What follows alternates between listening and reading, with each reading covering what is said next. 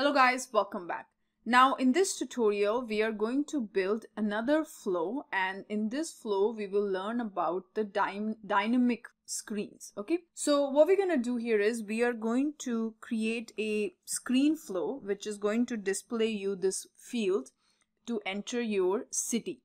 Now, if the user has entered a city like Mumbai, then the next field that will automatically going to be displayed on the page would be the state. But if the user has entered something else, let's say the, the user has entered Delhi, then in that case, this particular state is field is not going to be displayed. So this state field is conditional and the condition is if the value of the city field that the user has entered is Mumbai, then only display the state field Otherwise, just let the city field display. Okay, so the state field is being conditionally rendered based on the value that the user has entered in the city field. So let's go ahead and uh, do this flow, create a flow. So I'm going to go back to my Salesforce here and uh, I'll go back to the flows. So if you see here, this is the flow that I've created and uh, now I'm going to create another flow here and I'll click on this new flow button. And the second thing is I'm going to choose the flow type as screen flow because the field that is going to be displayed to the user here. So the I'm going to choose free form and the first thing is I'm going to add a screen element. And here the label I'm going to say dynamic form creation. This is the label. And on this screen I'm going to add a text field. Okay, so this is to capture the city. So I'm going to go ahead and uh, capture the city here and it's a required field. So I'm going to go ahead and click on this required checkbox. Now you can see here there is a component visibility.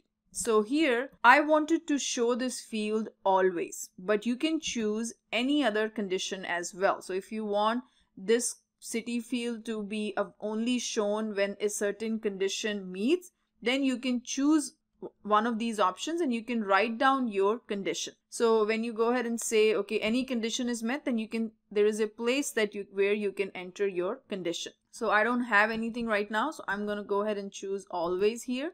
So this city field will be displayed always. And uh, the next, I wanted to add another text field here. And this text field is for state. Okay, so I'm going to go ahead and uh, enter state here. And automatically the API name would be populated.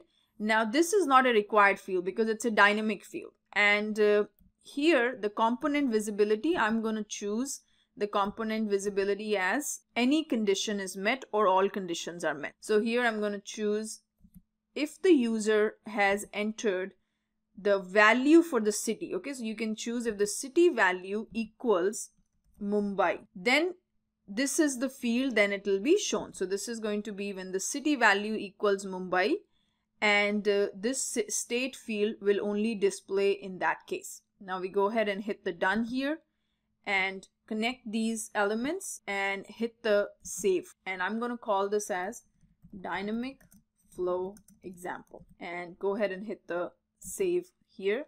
And now I'm going to run this. I'm not activating it. I'm going to run it.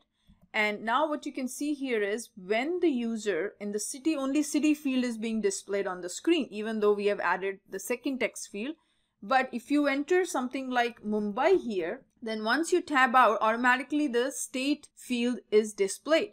But once you go ahead and clean it that state gets remove the state text field, let's say you went enter something else, you enter Delhi here, then that field doesn't show up. But if you enter Mumbai, then that field shows up. But if you enter Mumbai in all caps, then also the field doesn't show. So it's a case sensitive. So it has to match the exact case that you have entered. So if the Mumbai has to be written like this. So if the user is entering something like this, then the field is not going to get displayed. So let's go ahead and accommodate this scenario as well.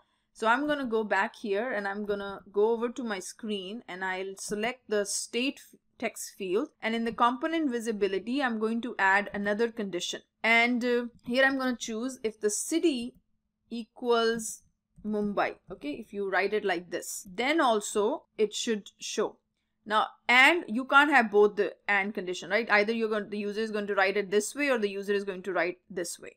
You the user can't have both at the same time. So i'm going to choose or here. So one of them meets that's when the state would be displayed. So now what will happen is i'm going to go ahead and hit the save and i'm going to activate it and i'm also going to run it now. So now here if the user has chosen mumbai and we've written like this then also the state will be displayed if the user has chosen Mumbai, then also the state would be displayed. But if the user has chosen Delhi, then that state field is not going to get displayed. So this is about the dynamic flow examples.